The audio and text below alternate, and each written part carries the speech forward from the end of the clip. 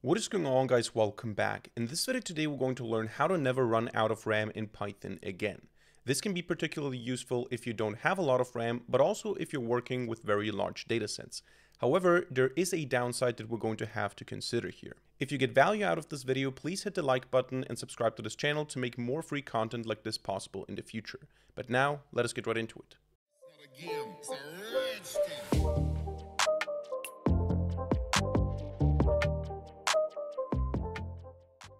Alright, so we're going to structure this video in three sections. The first one is going to be about using more RAM than we have available on our system. So how can we go beyond the 16, 32, 64 gigabytes of RAM that we have in our system? How can we use more than that, which can be very useful when working with large data sets in Python, for example. The second section will be about limiting RAM usage. So even if we have enough RAM to load a data frame uh, into the RAM, how can we limit that? How can we say, I don't want to allow uh, this process to use more than 16 gigabytes of RAM, even though maybe I have 128 gigabytes of RAM. There might be reasons for that. And we're also going to learn how to combine this with the first trick to actually use the RAM, but use it in a different way. We're going to talk about that in a second. And in the third section, I want to do an experiment uh, to show you the downside of the approach to see that it's actually quite slow what we're doing. It still works, but there are things that you need to consider. So this is what we're going to do today. And we're going to start with a very simple file here for demonstration purposes. I have a simple Python script main py and what we do here is extremely simple. We have an empty list. We go through a for loop 5000 times and we extend this list by 1 million elements with each iteration. So the list is empty. We go to zero. We have a million zeros that we add to the list, a million ones that we add to the list, a million twos and so on 5000 times. And what happens with this script, of course, is it uses up a lot of RAM. So on Linux, you have a command called free. If I run free dash h, I can see how much RAM is available on my system. Maybe let's zoom out a little bit here. Uh, you can see that currently I have 32, 31 gigabytes of RAM here. Uh, 2.9 gigabytes are used. I have 18 free and I have 25 available. And then I also have the so-called swap. Uh, for those of you who don't know what the swap is, in a nutshell, it's like RAM, but it uses the disk. So it's not fast. It's not uh, random access memory. It's disk memory, but it's used as RAM. So when you don't have enough RAM, what the system does is it outsources the job of the RAM onto the disk. It uses the swap file or however many swap files you have. It uses the swap memory to simulate RAM by using the disk. But the disk is much slower than the RAM, which is basically now spoiling already the approach that we're going to use. We're going to increase the amount of RAM that we're able to use by increasing the amount of swap that we have. What we're going to do now is we're going to combine this with a watch command. I'm going to say watch n1, which basically is going to update this every second. And I'm going to run free uh, dash h here uh, so that you can see what's happening. So this is going to update all the time. As you can see here, the seconds are updating as well. And what we're going to do now is we're going to run main.py. Now, I don't want to let this crash my system, but what you see is it's going to allocate a bunch of memory. At some point, there's not going to be any memory left. I'm going to terminate this. The only reason I'm terminating this is because I'm recording. I don't want the recording to crash because of RAM limits. But what's going to happen is the moment you actually uh, or actually maybe I'm going to run this here in a second, but what's going to happen is when this goes full, when, when we don't have any memory left, what's going to happen is it's going to use the swap. So actually, let me try this. I'm going to save the recording and I'm going to try this and hope my recording doesn't crash. All right, recording saved. So let's go ahead and say Python 3 main py, and hopefully you're going to see that this is filled up and then it's going to start using swap. Hopefully it's going to have enough for my OBS to keep running, but you can see we already don't have a lot of free or available RAM. We're going to zero and we're almost at zero. Now you can see swap is being used. So if the recording is still working, that is fine, but you can see now the swap is being used. And at some point the swap is also going to be full and then we have a problem because then our uh, application cannot continue. We don't have enough memory to load the data frame. Uh, in this case, we're just creating an artificial list. We're going to look at an example with an actual data frame in the end, but that's the basic principle. The trick I want to show you today is how you can increase this swap memory, at least in the first section here, how we can increase that swap memory to uh, make it possible to load larger data frames. And on Linux, you can do that with a command called fallocate. So we're going to say sudo fallocate and we're going to say dash L and then the size of the swap that we want to, or the amount of swap space that we want to reserve. So I'm going to say 20 gigabytes here, meaning it's going to add to the 19 gigabytes. It's going to be 39 in the end.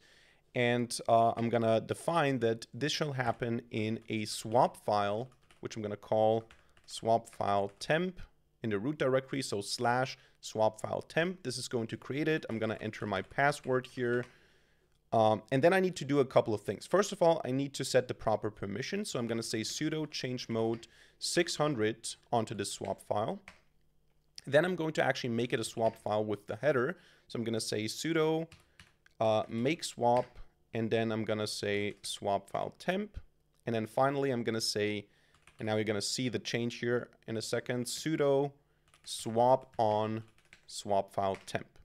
So now you can see I have 39 gigabytes and uh, I can run the script again. If I run the script, you're going to see that now it can go beyond the 19 gigabytes that we had in the beginning. So it's going to allocate here the memory again. Then it's going to be, um, to get to the limit here, it's going to start allocating swap. And the limit now is 39 gigabytes, not 19 gigabytes as before but I'm not going to run this now until the end. The important thing is you can increase the amount of swap and kind of RAM that you have available. It's not really RAM, it's kind of slow, but you can increase that amount if you have disk space available.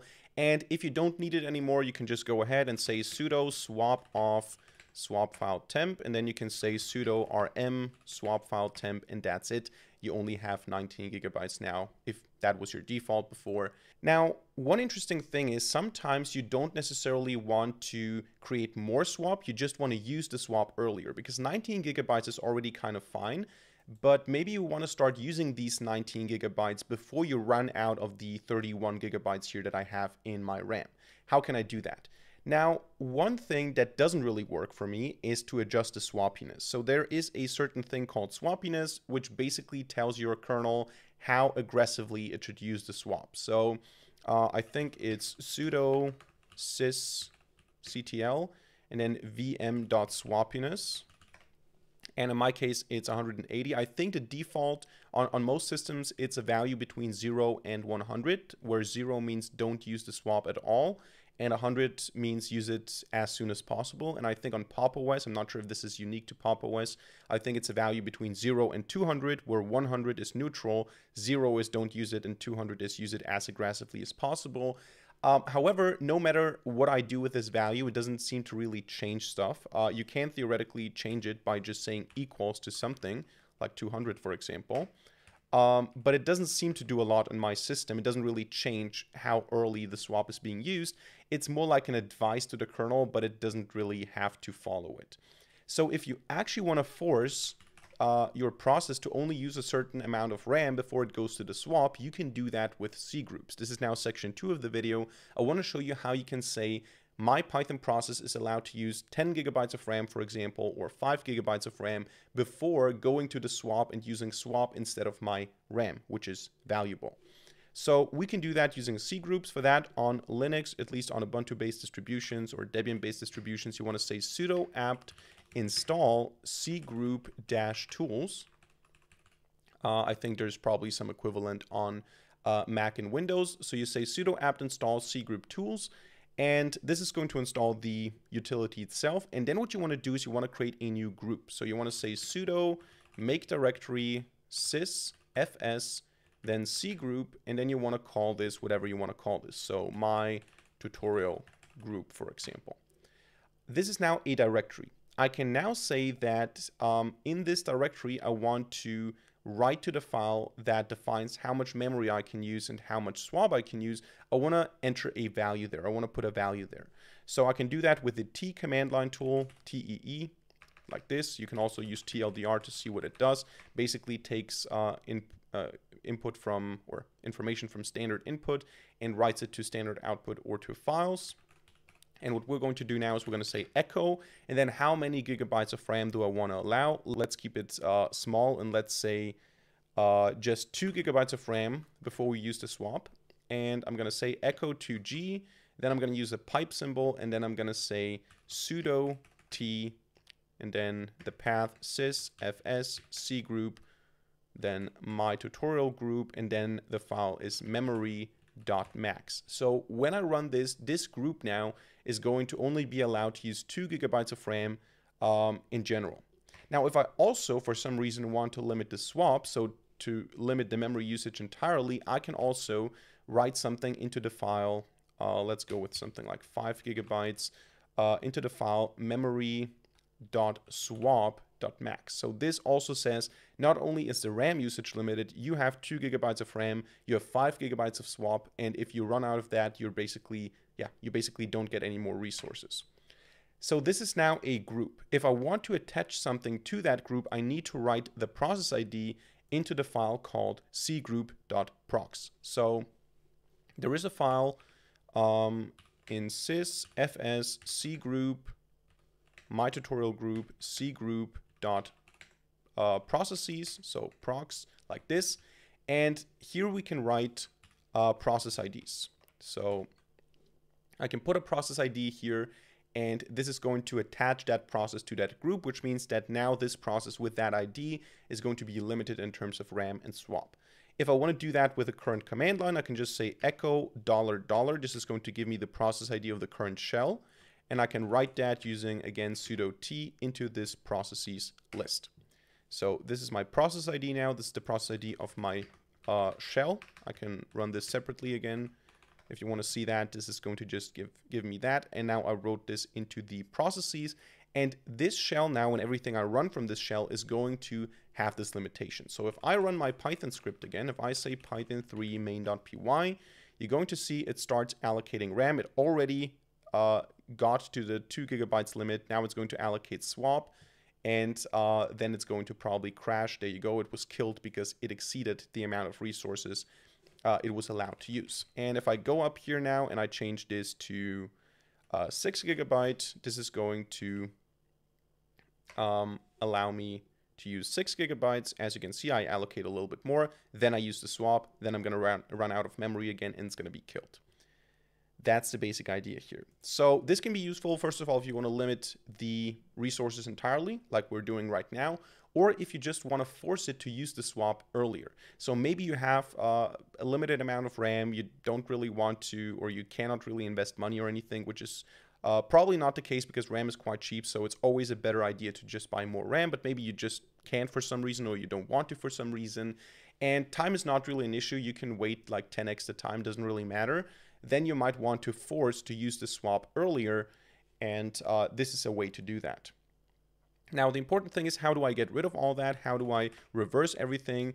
Uh, you basically can write a simple uh, shell script here. You can say for and then uh, PID in dollar cat and then the file again. So system fs c group my tutorial group uh, group.procs and then that is going to be followed by semicolon do. And what we want to do here is we want to say echo pid and then sudo tee. And we want to add this to a different group so we're going to add this to the default group which is cgroup.procs in cgroup and then we're going to say done. And uh, we can run this again. Nothing's going to happen. There you go. And then we're going to remove the directory sudo rmdir sys fs c group uh, my tutorial group and that's it. Now if I run this again now if I run my Python code again it's going to just allocate again all of the RAM and then it's going to go to the swap. So there's no limitation anymore as you can see. All right. So that's the basic principle. You can increase the amount of swap temporarily or permanently. You can force your system to use swap earlier. But now we want to see what happens actually when we do that. How much slower is our um, or are our operations when we do that. So I have in this directory here a yellow trip data CSV taxi data set. And I have a file called experiment py where I have time and pandas imported. I load this data set. It has around two gigabytes on disk. So it has more, uh, I think it's around seven gigabytes of data when you have it in RAM or seven point something. Uh, what we do is we load it, we print it, we track the time it takes to uh, turn two fields into date times, then to calculate the trip duration, and then to get the median trip duration. So this is just some calculations being done here. We measure the time it takes to do that. uh, and then we print the result. Now, doing this entirely in swap is going to be super, super slow, so we're not going to do that. But we want to compare what happens when we just run this uh, like this. So if I just say experiment py, how long does it take? You can see it allocates uh, space. So 3.4, 3.5, 3.7, uh, probably around 7 gigabytes of data. Maybe I can open up a btop here. Uh, two smalls. Okay, I just got rid of the uh, other view of the free and uh, watch command. And you can see now we have btop, we can see that certain processes are running. Now this process is already done, but you can see we have 8.8 .8 seconds that it takes to do all of that.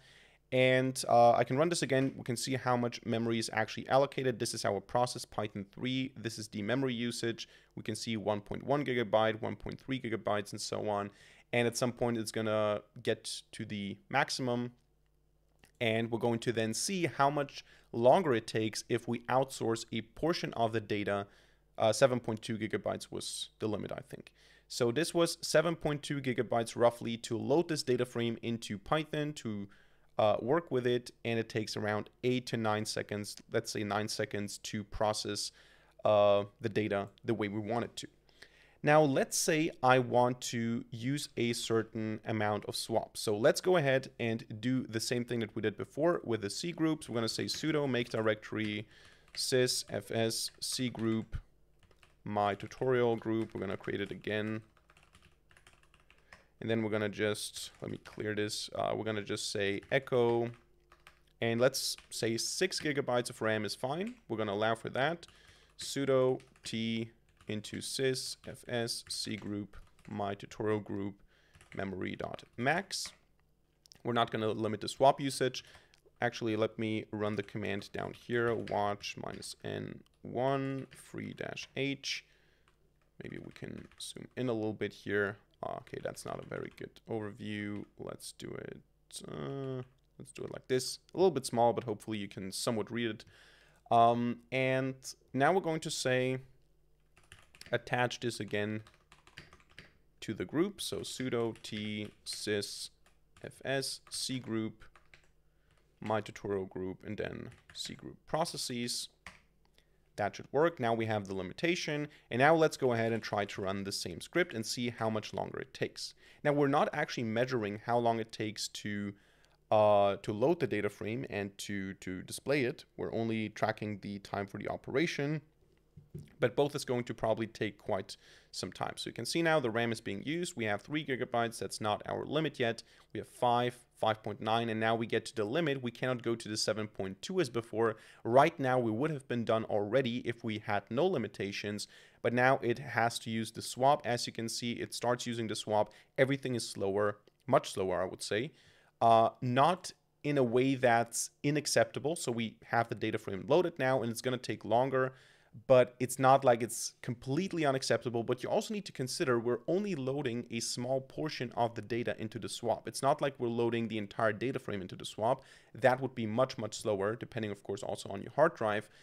But even just having a small portion, uh, like 1.2 gigabytes or something, or I don't know how much we allocated now in the swap, but even just having a small portion of that in the swap is going to massively slow it down. We get 28.91 seconds.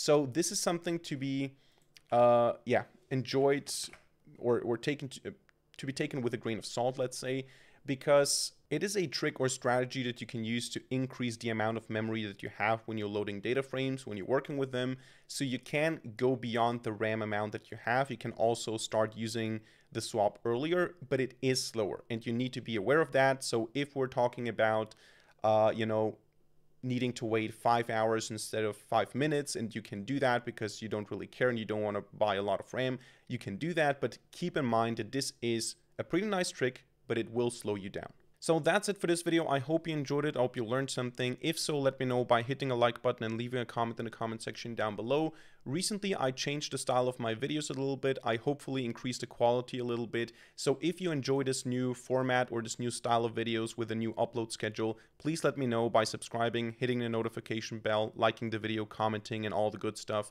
And besides that, I'm going to see you in the next video.